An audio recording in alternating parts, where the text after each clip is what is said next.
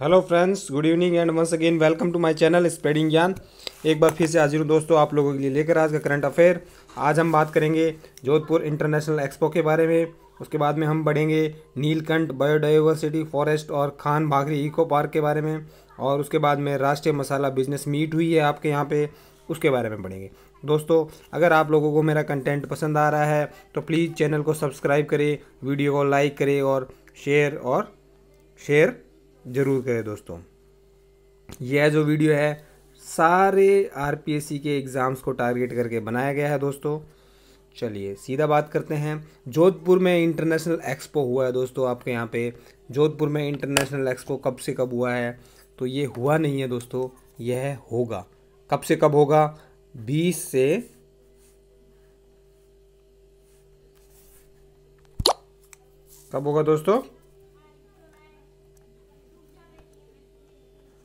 20 से 22 मार्च में यह है प्रस्तावित है। मुख्यमंत्री जी ने घोषणा की है कि मार्च के अंदर इंडस्ट्री को बढ़ावा देने के लिए, इंडस्ट्रियल औद्योगिक विकास को राजस्थान में औद्योगिक विकास को बढ़ावा देने के लिए यह जोधपुर में E P C H E P C H क्या होता है दोस्तों? तो आपका ई पी सी एच क्या होता है दोस्तों? तो E P C H stand for export promotion council for handicrafts ठीक है?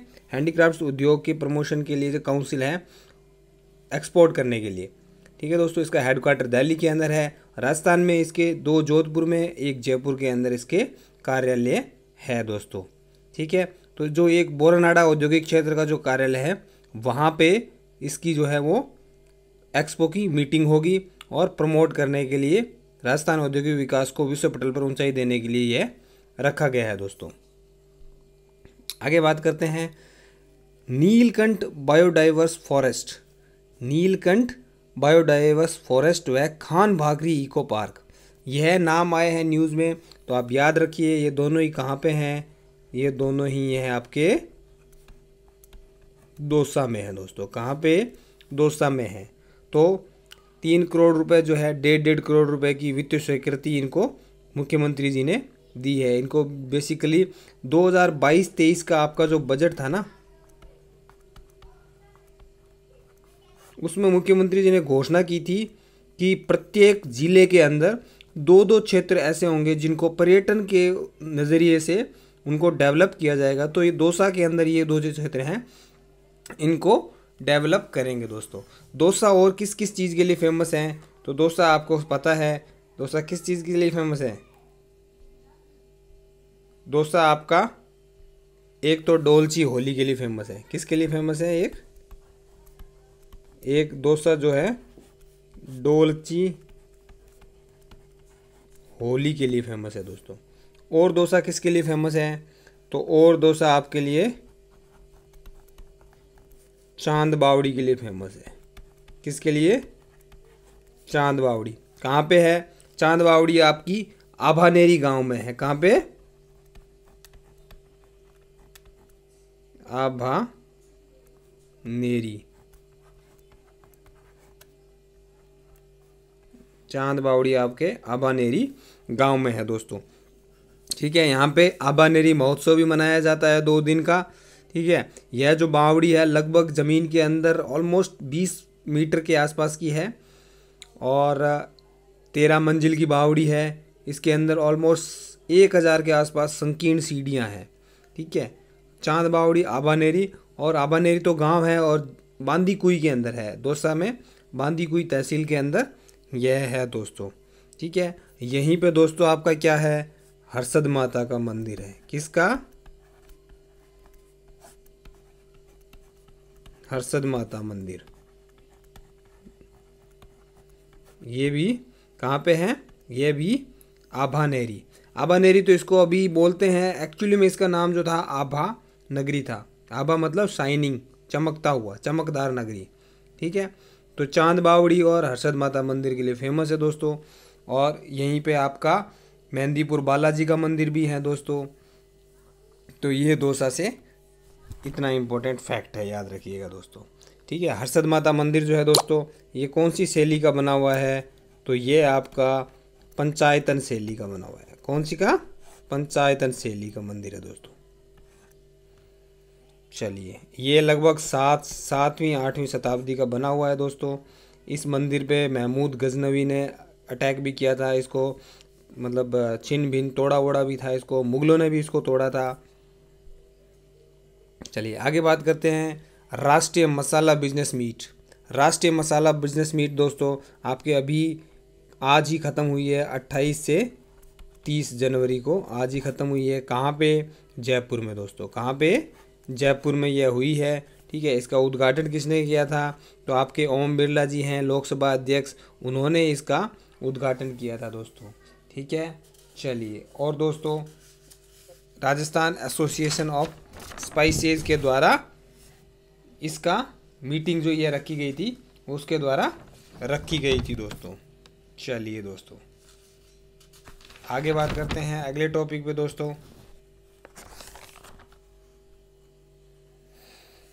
सरिस्का के अंदर भालुओं को लाने की अनुमति गवर्नमेंट को मिल चुकी है दोस्तों, ठीक है? सरिस्का किसके लिए फ़ेमस है? सरिस्का वैसे तो टाइगर रिज़र्व के रूप में फ़ेमस है।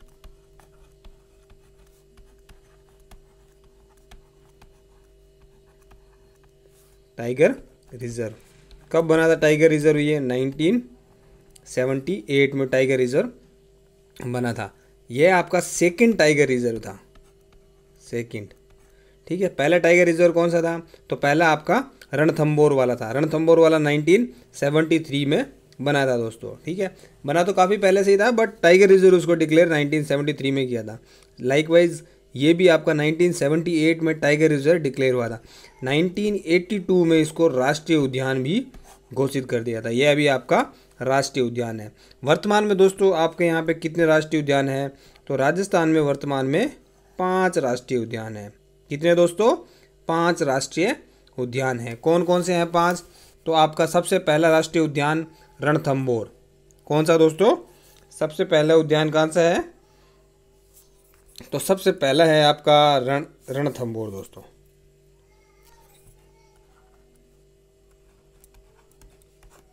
रण थम्बोर यह लगभग आपका 1980 में बना था। लगभग क्या? 1980 में राष्ट्रीय उद्यान बना था दोस्तों। ठीक है? इसके बाद दोस्तों आपका कौन सा आता है? दूसरा। तो दूसरा आता है केवला देव यह आपका 81 में बना था। राष्ट्रीय उद्यान डिक्लेयर हुआ था। केवला देव आपका रामसर साइट भी है। ठीक है दोस्तों? और इसको दोस्तों यूनेस्को में भी जो संरक्षित उसमें है, क्षेत्र में लिया गया है, यू यूनेस्को दोस्तों। कब? यूनेस्को ने इसको कब लिया था? 1985 में। कब लिया था? 1985 में दोस्तों। तीसरा आपके यहाँ पे कौन सा है? तो तीसरा आपका जो अभी हम पढ़ रहे हैं सरिस का है। चौथा कौन सा है आपका? वो आपका है मरु उद्यान जैसलमेर। और पांचवा कौन सा है आपका? तो पांचवा है आपका मुकंदरा हिल्स। कौन सा? मुकंदरा हिल्स। तो याद हो गए दोस्तों, पहला रणथम्बोर केवला देव सरिस्का मरु उद्यान और मुकंदरा हिल्स। मुकंदरा हिल्स किसके लिए फ़ेमस है? तो मुकंदरा हिल्स आपको पता होगा, हीरामन तोते के लिए फ़ेमस है। हीरामन तोते के लिए फ़ेमस है मुकुंदरा हिल्स। तो ये भी क्वेश्चन कभी कभी पूछ लेता है। तो बात हम बात कर रहे थे कि सरिस्का के अंदर टाइगर रिज़र्व के लिए फ़ेमस है। तो अभी सरिस्का के अंदर भालुओं को लाने की भी अनुमति मिल चुकी है दोस्तों। चलिए। All India survey on higher education higher education पे एक सर्वे हुआ था, ऑल इंडिया सर्वे 2020-21 में हुआ था। किसने करवाया था? तो शिक्षा मंत्रालय ने करवाया था। किसने करवाया था दोस्तों? शिक्षा मंत्रालय ने करवाया था, ठीक है? विश्वविद्यालयों की संख्या राजस्थान में कितनी है? तो विश्वविद्यालय मतलब जो विश्वविद्यालय हैं, उनमें राजस्थान में जो है, वो नंबर वन पे हैं। कितने हैं टोटल? फिफ्टी टू तो आपके प्राइवेट हैं। निजी। टोटल आपके कितने हैं? नाइन्टी टू है। ठीक है तो इसमें राजस्थान जो है, पहले नंबर पर है दोस्तों। और अगर कॉलेजेस की बात करें तो कॉलेजेस में जो है आपका देश के अंदर सबसे पहले नंबर पे है, वो आपका बेंगलुरु अर्बन। कौन सा? बेंगलुरु अर्बन दोस्तों। ठीक है, बेंगलोर हुआ करता था बट उसका नाम अभी बेंगलुरु है। जयपुर जो है, वो कौन सा है दोस्तों? दूसरे नंबर पर आता है। जयपुर दूसरे नंबर पर आता है। कितनी? सिक्स सेवेंटी कॉलेज हैं। सीकर जो है वो टेन नंबर पर आता है। तो टॉप टेन के अंदर कॉलेजेस के विश्वविद्यालय में तो राजस्थान पहले नंबर पर है, पर नंबर ऑफ़ कॉलेज, कितने कॉलेज हैं? तो उसमें दोस्तों टॉप टेन में हमारे दो आते हैं, जयपुर और सीकर। जयपुर आता है आपका दूसरे नंबर पर और सीकर आता है आपका टेंथ नंबर पर दोस्तों। पहले नंबर पर कौन है? तो पहले नंबर पर आपका बेंगलोर है दोस्तों। चलिए तो दोस्तों यह था आज की आज का मेरी तरफ़ से करंट अफेयर मिलते हैं कल फिर करंट के साथ कल के। और तब तक के लिए good night and please video like share और सब्सक्राइब ज़रूर करें।